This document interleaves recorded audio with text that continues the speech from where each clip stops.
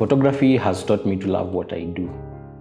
Because there are days you will feel exhausted, there are days you will feel tired. Fear will creep in and you will feel like you're not good enough. Passion is what will keep you going, it is what will make you show up. This applies to all fields as well. Loving what you do that not only brings immense joy to you as a person, but it also brings joy to those around you. Uh, you're able to push boundaries, and at, at the same time, you inspire those who come after you. So, whether you're a beginner or a seasoned pro, remember to always embrace passion, uh, stay true to yourself, and most importantly, to love what you do.